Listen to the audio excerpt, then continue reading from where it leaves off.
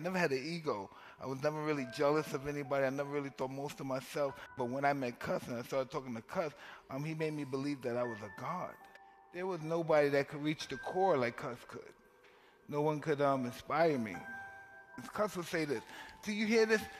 Because Cus had a really, um, he had this really um, megalomania ego. He said, you let me tell you something. You, you, all the prophets, all the gods you ever know about, if they had a son, their son couldn't beat my fighter.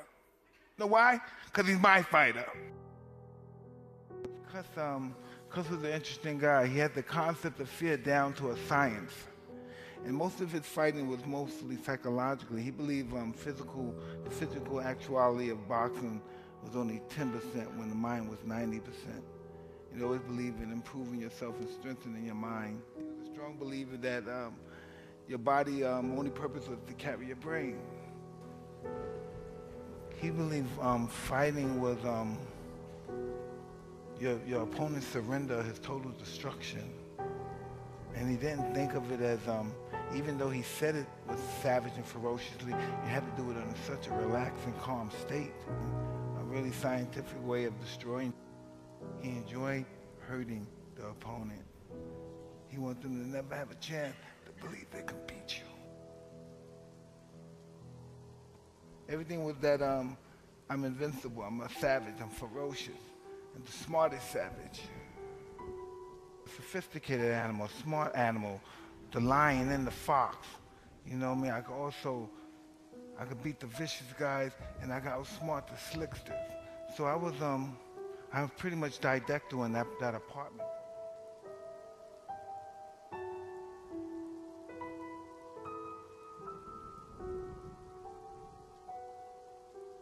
Had me read mostly um, books about war, Claude von Clausewitz. This is why Cus read all those books. Cus was pretty much an intellect, but he was an intellectual and philosopher about war. And he thought fighting was a form of war. I wanted to make Cus proud. That was my whole existence for fighting. I wanted to make him proud. If someone said something negative about me, he was an old man, he would attack them. He would do anything for me.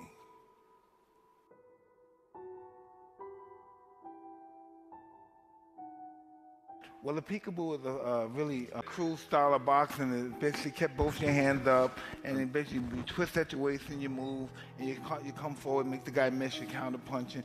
Pretty much he really discovered it from karate. He watched karate people do it, and just move, get to one position, and, and punch with everything you got with bad and mean, ferocious intention.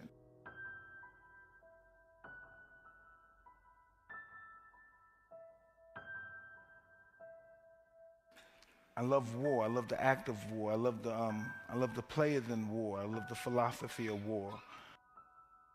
There's a quote in Machiavelli, The Prince, and when they say, after you defeat, after you defeat the king and you cut off his head, you be audacious and you say what you're going to do to the next ruler and the next um, prince that you're going to conquer, and that allows them to be intimidated.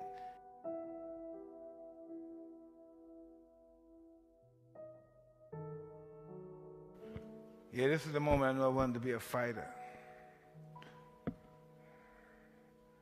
Watching two masters fight. After watching these guys, I knew. They were fighting, they fought 15 rounds and, they, and it was a war, but none of them had a mark on their face. But it was a hard fight, but nobody had a mark on their face. These master technicians. He was a street fighter like me. He was cruel and mean. Um, I never looked at um, I respected Ali and I worshiped Ali, but he was um, he was very tall and very handsome. I was very short and not so handsome. And he was very um, I don't know, I mean, articulate, and I spoke with a lisp, and um, I didn't really um, I didn't relate to two besides we were black. Ali was a middle class kid here. The mother and father that both worked. My mother and father was in um, the sex industry. So I, you know, and Roberta the grandmother was pretty much, you know, I mean, out there as well. And so I related to that. And um, I didn't have to change. I didn't have to um, change my diction. I didn't have to learn how to talk um, polite. I didn't have to be nice. I didn't have to. I didn't have um, have to have a proper linguistic skill. And so if he could be accepted and be worshipped that way, I thought I would be able to as well. He, after that fight, he, he, he pushed Lynn. He went to some other guy and he told him to suck his balls.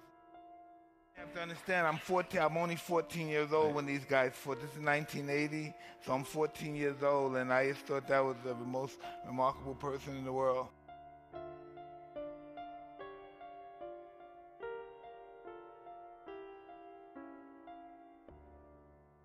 I was born with great perception.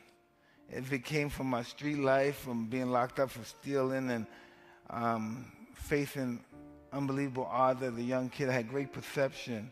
And once I watched um, these guys fight, I just knew it was a matter of time, but I knew was, uh, my time would soon come.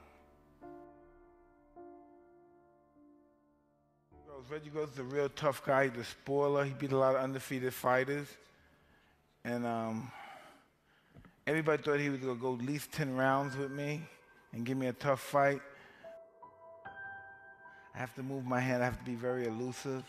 And I know um, I want to hurt him desperately. I want to dismantle him. Watch this. Watch my head.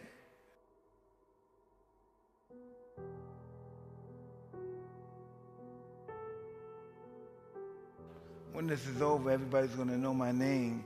And the people that I fight after him, oh, they're going to fear me. And um, that's pretty much um, how my reign consists of, of just fear. And on occasion, some guys like him, who's a tough guy, they would try to fight back. And that would just um, allow me to excel at an extremely high level.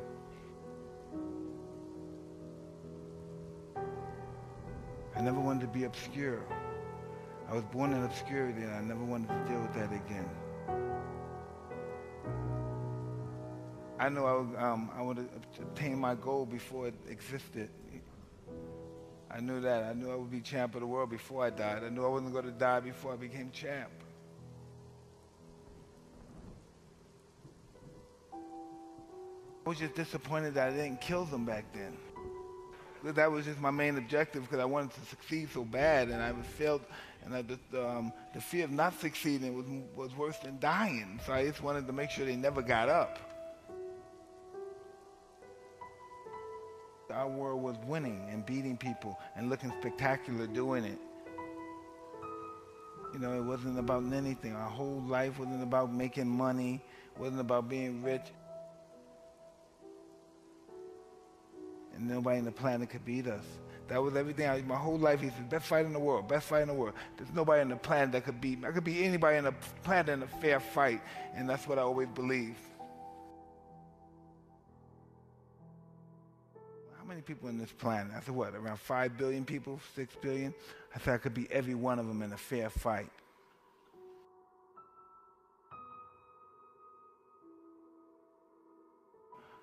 I must be a descendant of the great warriors of old, all the gods of war, because I'm winning with the most simplest of ease. How could these guys even dare fight me? I must be ordained by God.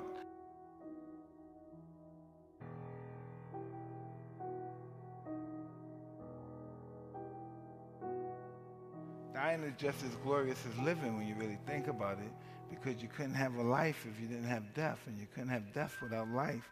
So how can death be less glorious than life? They're both inter- intertwined with one another.